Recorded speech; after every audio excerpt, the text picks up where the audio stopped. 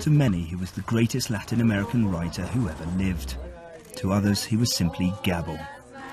Gabriel Garcia Marquez, the Colombian author whose books redefined the limits of prose, who brought together magic and reality in ways few others have been able to, finally succumbed to age and ill health in his home in Mexico City.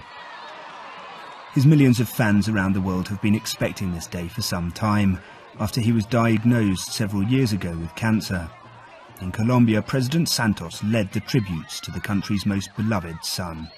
Como gobierno y en homenaje a la memoria de Gabriel García Márquez, As a government, and in homage to the memory of Gabriel Garcia Marquez, I have declared a state of national mourning for three days, and I have ordered all public institutions to fly the national flag at half-mast.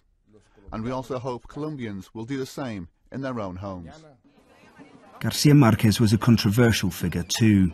His friendship with Fidel Castro caused some to distance themselves from him, at least politically.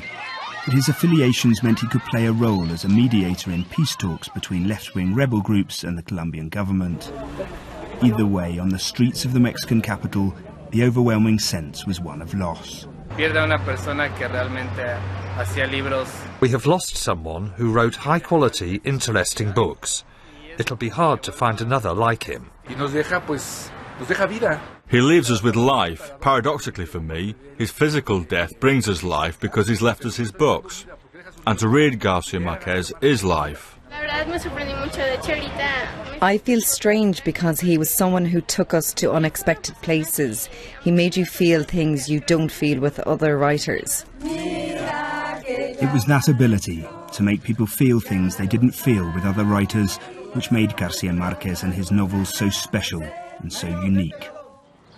While Garcia Marquez's death will be most keenly felt in his native Colombia, he will also be mourned here in Mexico, his adopted home for more than 40 years. But he is an author who transcended Latin America, who can genuinely be considered perhaps the finest writer of the Spanish language since Cervantes.